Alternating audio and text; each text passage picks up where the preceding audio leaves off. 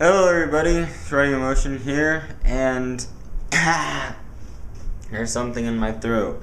Um, no, it's the fourth snow day in a row. It's well, I don't even I don't even know what I'm trying to say there.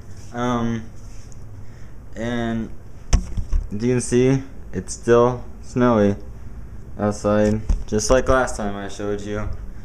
And um, so last night, hanging out with friends because we don't have anything to do in all this snowy weather, and we discovered Chat Roulette, and that is a sketchy website. I saw last night. oh god, this is awful.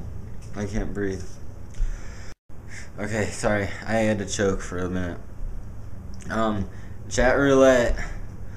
It's got about a ten to one ratio of guys to girls, and it's primarily guys with their shirts off, and and out of the guys with their shirts, like there's the guys, and about five out of ten guys have their shirts off, and about two out of three of the guys with their shirts off have their pants off.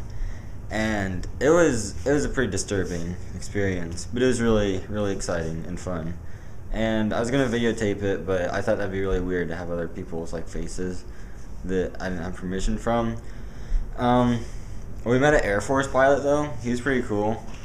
I don't know if he was real or not, but he, he seemed cool enough. So, um, that's pretty much all we did last night. We are gonna play Xbox. We discovered chat roulette. We had two computers doing it, and we had this we had this like a, a, deer mount, you know, like the head that you mount on the wall. And we took it down and we cut like we'd sit on the couch and we had the deer head come over the edge of the couch, and so it would look like there's a deer standing there and like look around and stuff, and people were freaking out. But it was pretty sweet. We didn't end up playing much Xbox at all.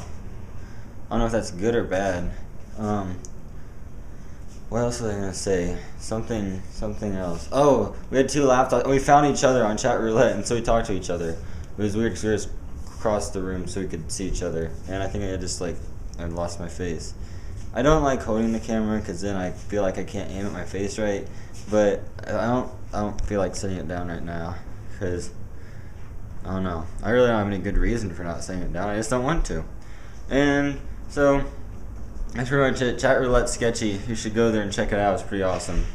And so what all. I uh, six day weekend. We're on day four right now, and it's gonna be a blast. All right, stay beautiful. Bye.